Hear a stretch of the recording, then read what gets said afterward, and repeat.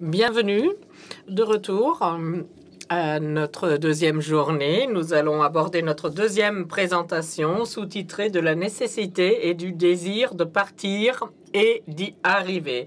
Je m'appelle Massimo Groinelli et je suis responsable de migration dans la fondation Rosa Luxembourg et je vais euh, animer les débats. Je suis très heureux de pouvoir euh, vous présenter maintenant euh, ce de discussion sur le capitalisme mondial et la postcolonialisation la présentation euh, d'ouverture sera faite par Sandro Mezzadra. Ensuite, nous allons mener un euh, débat euh, sur la mondialisation capitaliste et la traversée des frontières avec entre à côté de Sandro Mezzadra, Moussa Changari et, Massim, euh, Changari parlera en français et euh, Monsieur euh, Sandro Metzadra parlera en anglais. Moi-même, je vais faire l'animation en allemand, donc chacun parlera sa langue et sera traduit par les interprètes. Mais tout d'abord, Cora voudrait dire un mot. Bonjour. Bonjour tout le monde. Alors, je suis là en arrière-plan et je voudrais vous donner quelques informations. Vous avez, pour ceux qui viennent d'arriver, donc la possibilité d'avoir une fonction de traduction. Vous pouvez la sélectionner en cliquant sur le globe qui est en bas de votre écran. Si vous ne voyez pas, essayez d'aller par l'appli Zoom et à ce moment-là, vous verrez le petit euh, globe. Donc, euh, je reviens, je vous répète la même chose. À partir de l'anglais, vous avez la possibilité de choisir la langue que vous voulez en cliquant sur le petit globe qui vous permet de sélectionner la langue que vous voulez entendre et qui, pour vous, donc, sera le français. Et maintenant, la même chose en espagnol. Puede seleccionarse por medio del icono del, del globo terráqueo en la parte inferior de la pantalla. Si no encuentran este icono, les pedimos el favor de reconectarse a través de l'application de Zoom. Et bonjour depuis les coulisses de la part de Jasmine et, de, et moi. Il y a une fonction de traduction pour vous qui peut être sélectionnée par l'icône du globe terrestre en bas de l'écran. Et si vous ne trouvez pas cette icône, reconnectez-vous à la session en utilisant l'application de Zoom. Un peu später. Vielen Dank, Julia.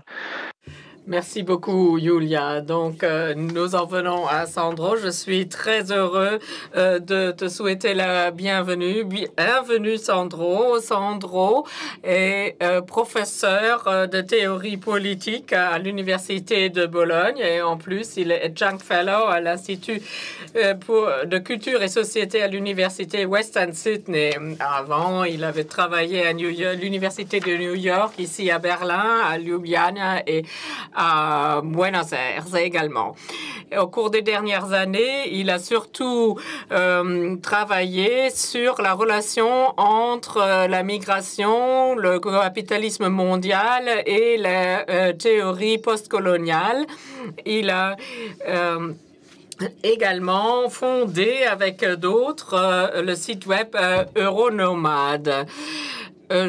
son dernier livres euh, euh, sont entre autres Borders Method or the Multiplication of Labor et euh, un autre livre récent de 2019, The Politics of Operations Excavating Contemporary Capitalism entre autres euh, projets euh, scientifiques qu'il coordonne, il coordonne à l'heure actuelle aussi un projet euh, Horizon 2020 plus.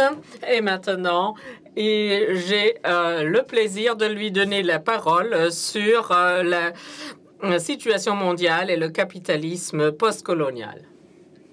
Uh, allow me to start by warmly thanking uh, the organizers uh, of this uh, timely conference, uh, and among them, in particular, my dear friend Thomas uh, Seibert, for inviting me to give a lecture on uh, such a challenging and uh, indeed also a bit intimidating topic uh, as uh, the world situation of post-colonial capitalism. Hmm.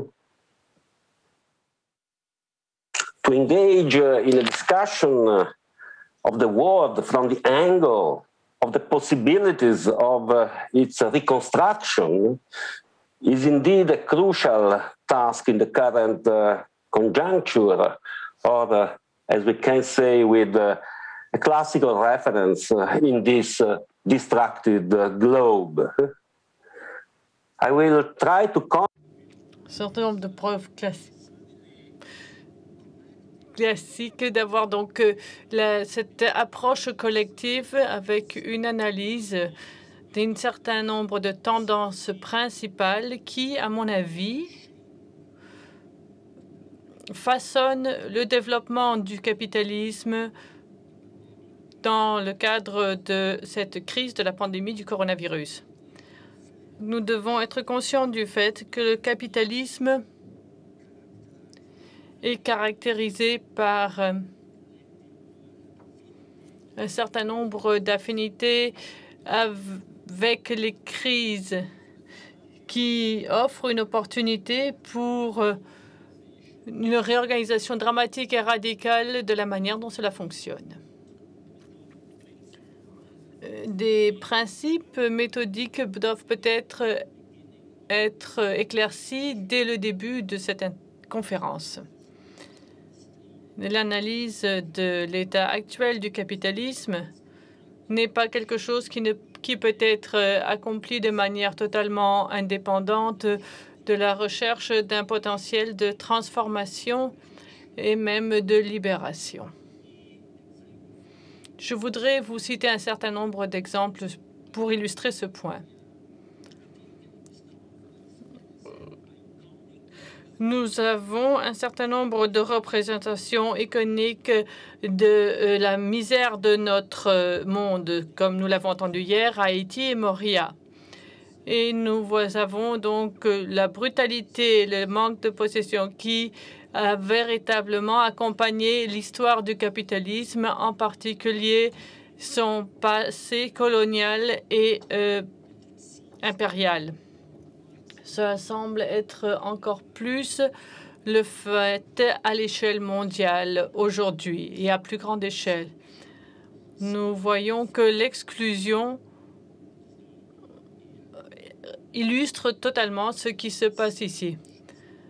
Mais pourquoi de telles, même si de telles notions sont certainement utiles, nous devrions regarder différents angles lorsque l'on est confronté à des situations telles que à Haïti et à Moria.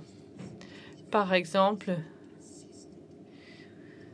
essayer de voir quelles sont les empreintes et les mutations des luttes sociales et des mouvements sociaux dès la première euh, révolution dans les, en 1789 et 90 et voir quelles sont les différentes résistances et aussi les doutes que l'on a. Et nous devrions également voir que la catastrophe de Moria va au-delà d'un certain nombre au-delà de cette géographie limitée par des frontières. Et nous voyons que nous avons donc symbole, ce symbole de ce camp de réfugiés de Moria. Et parfois, je pense que l'on perd de vue également la réalité de la violence, de l'exclusion et de la dépossession qui est absolument au cœur du capitalisme postcolonial. Cette notion de capitalisme colonial que l'on retrouve aussi dans le titre de ma conférence et comment on le retrouve dans les différents débats critiques qui ont eu lieu au cours des dernières années. Pour un grand nombre de scientifiques, par exemple pour Kalen Sanyal, il, y a une différence dans les différentes formes de développement capitaliste dans le monde colonialisé. Et nous avons vu ce que l'on a pu analyser sur euh, une aberration qui se répète régulièrement et qui conduit à un processus qui souligne la nécessité de, cette de reconnaître la nature de cette nouvelle pauvreté. J'ai appris de ces débats, par exemple en Inde ou par exemple en Amérique latine. Mais ma perception et ma vue de ce capitalisme postcolonial est un peu différent. Pour moi, cette notion me permet d'être une loupe plus critique pour essayer d'examiner la dimension plus mondiale, plus planétaire de cette notion. Nous avons différentes formes de l'héritage de ce colonialisme et d'un autre côté, nous avons l'émergence de nouvelles formes du capital entre le centre et la périphérie. Lorsque l'on veut limiter le capitalisme à monde postcolonial, je pense que la forme aussi d'un certain nombre de métropolis sont postcoloniales. Ce qui est particulièrement visible lorsque l'on voit les mouvements de migration et de manière plus générale à la transformation du travail et de la citoyenneté. Je voudrais être très clair. Le capitalisme postcolonial n'est pas la seule notion que j'aborde pour essayer de définir le capitalisme contemporain. Dans mes euh, écrits collaboratifs avec Brett Nielsen, je crois que l'on peut avoir également un cadre critique du, aussi euh, prenant le capitalisme financier, logistique, patriarcal, etc., toutes les formes de capitalisme. Et nous avons une interaction entre les différents formes et c'est seulement en abordant toutes ces formes que l'on peut véritablement comprendre ce concept de domination, de dépossession, de mépris également que l'on a dans le capitalisme, ainsi que la composition subjective contre ces formes d'exploitation, de dépossession et de domination. Dans mes travaux, l'idée clé, c'est que le capitalisme contemporain euh, vient d'une certaine homogénéité des opérations capitalistes et des capitaux avec les marchés financiers. Mais la manière que ces opérations fonctionnent et comment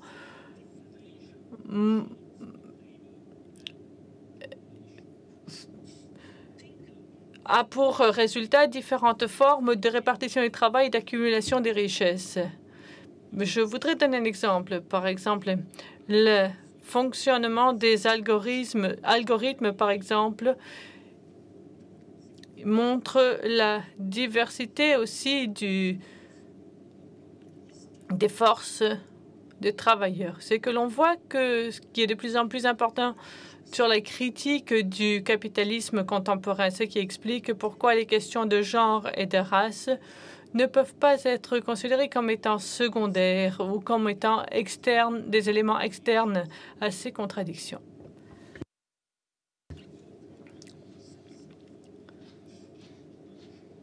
Donc, je pense que nous devons dire un certain nombre les choses à dire sur ce capitalisme euh, et l'approche critique que j'ai par rapport à ce capitalisme contemporain. Mais maintenant, je voudrais venir plutôt au, à l'aspect du capitalisme et de la crise causée par la pandémie. Je suis convaincu que la, dimension globale de ce capitalisme contemporain a toujours une dimension à l'échelle mondiale. Lorsque je parle de cette dimension mondiale, Je ne rappelle pas en fait pas les notions d'un espace mondial euh, lissé, mais de, nos démocraties libérales qui sont et que l'on retrouve dans les discussions de la mondialisation des années 90 entre Seattle et Gênes. Ces différentes idées ont été abandonnées même avant que euh, cet aspect change véritablement de perspective au début des années 2000.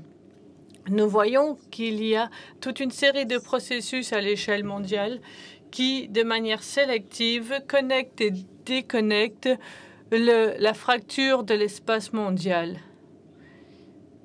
Avec la mobilité, par exemple la mobilité des salariés et des capitaux, et également la mobilité des humains qui nous avons aussi ces mouvements de capitaux qui symbolisent certaines forces décadentes. Ce que je voudrais aborder, c'est que nous avons par exemple ces chaînes d'approvisionnement à l'échelle mondiale, des circuits financiers, des routes modernes, des centres de données, des, câbles sous-marins de, de transport port d'informations. Tous ces aspects-là sont importants. Et si l'on essaie d'analyser toutes ces connexions euh, entre le capitalisme contemporain, les processus à l'échelle mondiale et la mobilité, on voit que c'est quelque chose qui peut être toujours remis en question. Et même Donald Trump euh, l'a remis en question. On voit par exemple que la, euh, cette pandémie en est peut-être également un symbole. Au cours du premier mois de cette crise de la pandémie, c'était vraiment une crise aussi de la mobilité. Bien sûr, les migrants et les réfugiés étaient ceux qui ont payé le prix le plus élevé de cette crise. Mais même pour les capitaux, ça a été tout à fait un choc je parle en particulier le ralentissement et même la paralysie totale de l'appareil logistique. Pas seulement la logistique, mais de manière plus générale, tous les secteurs liés à la mobilité qui nous donnent véritablement un angle de perception tout à fait privilégiée sur les répercussions de cette crise. Et nous devons admettre que la logistique ou les chaînes logistiques sont, arrivées à réorganiser les circuits et euh, sa façon de fonctionner très rapidement. Dans certaines parties du monde, la logistique a été considérée ou classée par les gouvernements comme étant un élément essentiel de l'économie. Donc, cette qualification d'essentiel, entre guillemets, a permis une certaine réorganisation. Je reviendrai sur cette définition dans un instant. Pour le moment, je voudrais souligner que lorsque l'on parle de logistique, on parle d'un secteur très vaste d'activités économiques, par exemple les entrepôts d'Amazon, bien sûr euh, tous les ports, les euh, containers, les portes-containers aussi. Et une chose est sûre, les capitaux investis dans la logistique vont certainement croître de manière exponentielle à l'avenir et je pense que les chaînes logistiques vont se développer encore davantage que les économies et les sociétés.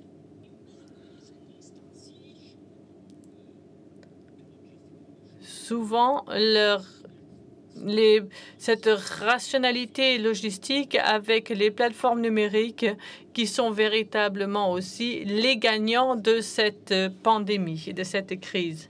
Quand on voit que Jeff Bezos incarne la combinaison de la logistique et des plateformes. De manière générale, les plateformes ont incarne aussi l'importance de ces plateformes dans cette pandémie et l'impact qu'elles ont. Et c'est très clair lorsque l'on voit par exemple ce que font Deliveroo ou, euh, ou des plateformes comme Zoom et Teams qui nous aident à gérer une crise sociale aussi, tout en permettant aussi le travail intelligent, tel qu'on aime à l'appeler, et, permettre d'avoir une certaine forme d'activité sociale jusqu'à l'activité, euh, par exemple, l'activisme politique. La valeur boursière de telles plateformes a augmenté de manière totalement spectaculaire. Par exemple, la capitalisation de Zoom a euh, dépassé celle de General Motors, par exemple. Et je voudrais rajouter que au cours de l'année dernière, ce que l'on peut parler la finalisation des plateformes a atteint vraiment un niveau inconnu jusqu'à présent. Alors que, par exemple, euh, la situation boursière d'Airbnb a été dramatique. Si l'on considère que, par exemple, l'activité principale de Airbnb était liée à une forme euh, particulière de mobilité, on peut dire qu'il a été difficile de, de comprendre pourquoi l'on son succès aussi en bourse. Ce succès est certainement lié à la forme de la plateforme. Avec ces nouvelles formes commerciales qui transforment totalement l'activité d'entreprise et le fonctionnement du commercial et des activités économiques, comme on le voit dans ces plateformes, et aussi la manière dont on travaille les travailleurs de, la nouvelle économie. Ce que l'on a sur ces plateformes, on a ce qu'on appelle une plateformisation, si je puis dire, du travail. Lorsque l'on au début, cela avait été salué. On avait salué le travail de ces plateformes numériques, mais en même temps, il faut comprendre l'effet disruptif de ces différentes plateformes et cette plateformisation du travail et de l'industrie des services. Il faudrait que j'ai beaucoup plus de temps pour, pour véritablement expliquer tous ces effets. Et nous, pour euh, aller aussi aborder les questions entre les frontières entre la vie privée et le travail. Mais nous avons maintenant une gestion algorithmique de des formes de travail qui sont obsolètes ou même, entre guillemets, archaïques et par exemple les euh, avantages sociaux, les droits du, travailleur et le droit, la législation du travail semble petit à petit disparaître de plus en plus. Et avec cette plateformisation du travail, c'est que l'idée que c'est l'on a cette mobilisation dystopique 24 heures sur 24, 7 jours sur 7 du travailleur avec une accumulation du capital euh, sur une nouvelle norme sociale que l'on ne connaissait pas jusqu'à présent. On pourrait dire beaucoup plus sur les plateformes numériques et sur les conflits que cela peut euh, générer. Je voulais tout simplement me focaliser sur un certain nombre d'aspects qui sont particulièrement saillants en période de pandémie. Je voudrais revenir à l'aspect de ces plateformes numériques. C'est quelque chose qui n'est pas limité à l'Occident. C'est quelque chose que l'on retrouve dans différentes parties du monde. Et nous voyons que ce travail sur les plateformes euh, euh, parle plus ou moins la même langue parce qu'ils sont heureux, plus ou moins dire, ou rassurés par le fait qu'ils ont le même outil, la même façon de travailler il y avait une première journée d'action mondiale par un certain nombre de mouvements de base pour la défense des travailleurs d'Amérique latine, mais on voit aussi qu'il y a l'émergence d'un nouveau capitalisme et surtout dans le contexte aussi du travail numérique.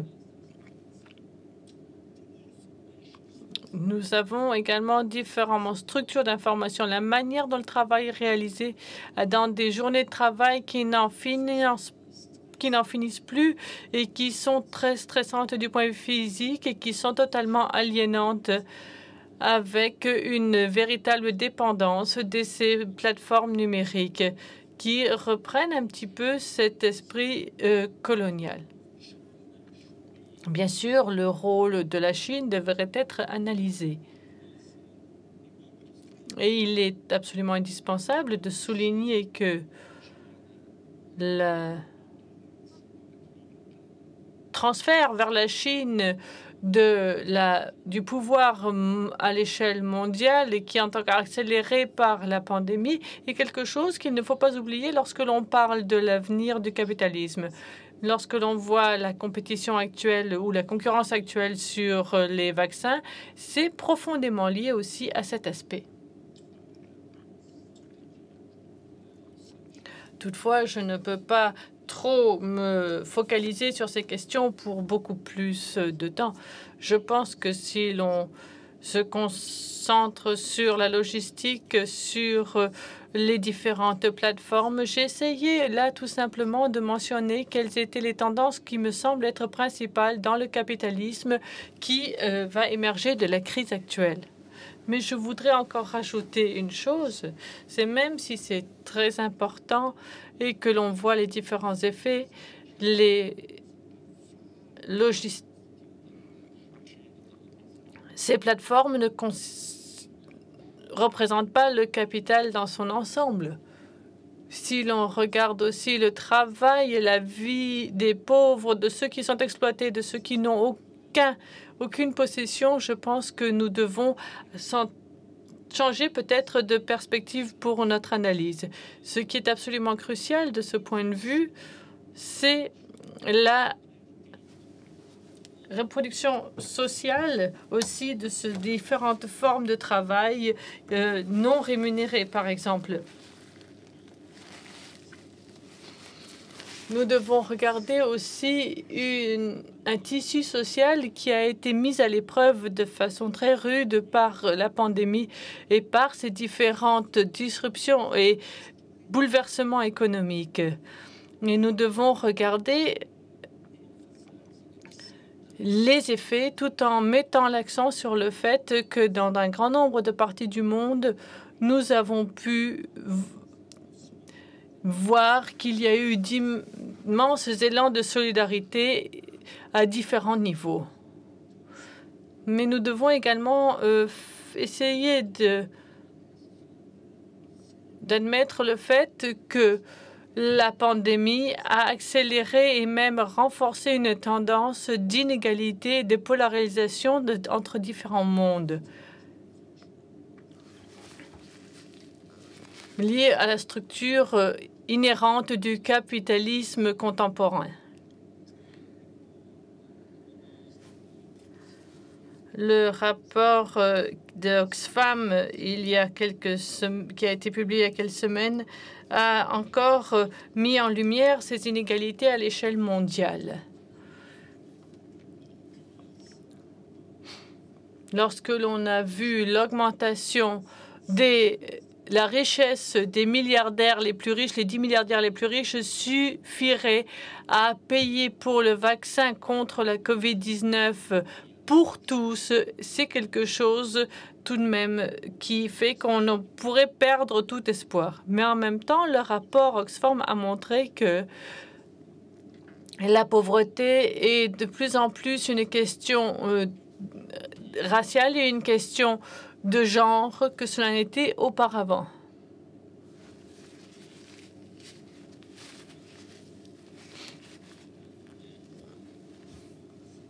En ce qui concerne les déséquilibres environnementaux et euh, la pandémie elle-même on a à ce moment-là une image très sombre de la vie dans ce capitalisme contemporain. Mais je pense que nous devrions être très clairs. Les différentes tendances dans la logistique, les finances, les plateformes numériques que j'ai soulignées ne vont pas contribuer à avoir une transformation euh, positive de ces conditions qui sont assez dramatiques, combinées avec d'autres tendances. On va voir de nouveaux développements où nous voyons que le travail ne tient plus compte des différentes législations de la politique et non plus ne tient plus compte des contrats et des accords. C'est-à-dire que les nous voyons que toutes les différentes luttes seront de plus en plus difficiles.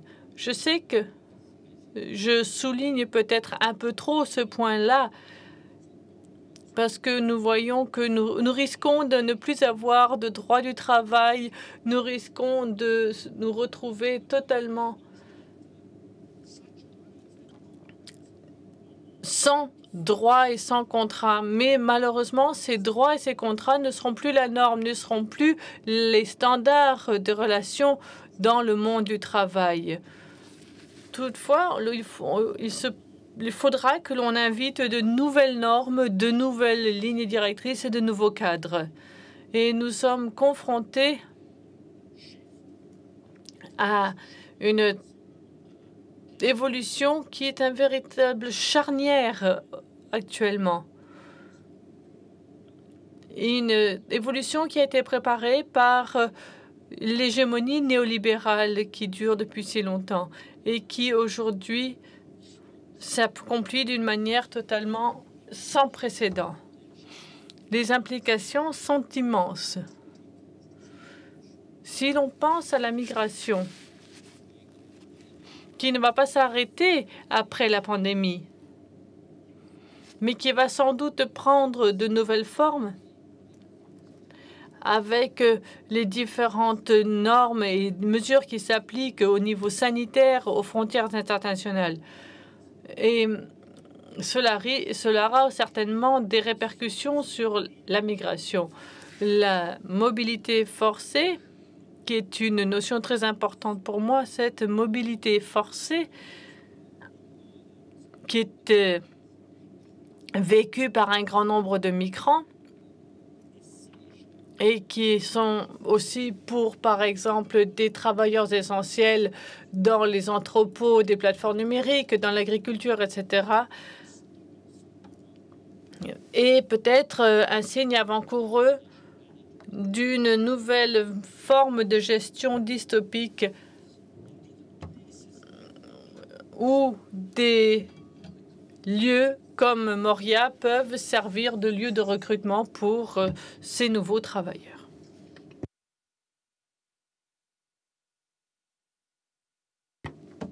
La reconstruction du monde est une tâche absolument urgente dans de telles conditions. Les différentes bouleversements, les différentes luttes liées à cette pandémie de pourraient conduire à cette reconstruction. Le mouvement de Black Lives Matter jusqu'à la mobilisation en Amérique latine et ailleurs pour des femmes, par exemple, pour ne mentionner quelques aspects. Le refus radical de différentes formes de violence et de domination mobilisent des millions de personnes. Et les campagnes environnementales et la résistance, par exemple, contre les industries extractrices et la aussi euh, volonté des migrants aussi de vouloir euh, défier les frontières fortifiées actuellement et le travail des euh, personnes considérées comme essentielles, tout cela peut remettre en question nos modèles aussi en Europe. Nous devons pouvoir démontrer que la reconstruction du monde est d'une certaine manière déjà en train. Et je suis convaincue que ce seul des mouvements et des luttes peuvent véritablement euh, conduire à une telle restructuration. D'une certaine manière, nous parlons à nouveau comme euh, Thomas Seibert l'avait abordé, comme dans, dans, le document produit pour la conférence. Mais c'est une reconstruction. Mais nous savons que nous n'avons que commencé. Nous ne savons pas comment l'évolution pourrait et comment cela va évoluer, comment les conditions vont évoluer et comment va évoluer le capitalisme contemporain et comment on va voir aussi ces différentes formes euh, de changement climatique, de changement d'environnement. Là, nous voyons que toutes ces expériences que nous avons déjà faites jusqu'à présent ne vont pas nous aider dans ces circonstances. Et que ces mouvements de réforme et de révolution sont en fait derrière nous. Ce qui est important, c'est d'avoir une transformation radicale. Essayer euh, d'avoir une lutte sans compromis contre la domination, l'exploitation, la dépossession. Le travail d'un intellect collectif et d'une imagination collective qui est absolument nécessaire pour essayer d'élaborer des, principes constitutifs à partir de ces luttes matérielles et pour essayer d'entamer la reconstruction du monde. Mais une telle imagination ne peut pas se retrouver en dehors de ces luttes. Il s'agit d'avoir véritablement un lien entre les passions, entre cette volonté de lutter et les différents mouvements qui sont prêts à lutter. Et c'est justement cette interconnexion qui façonne la composition de cette coopération sociale et qui est à la base de cette création de valeurs, de nouvelles valeurs dans notre monde nouveau. Cette coopération sociale qui est différente d'une partie du monde à l'autre est l'un des, des aspects fondamentaux pour la reconstruction du monde.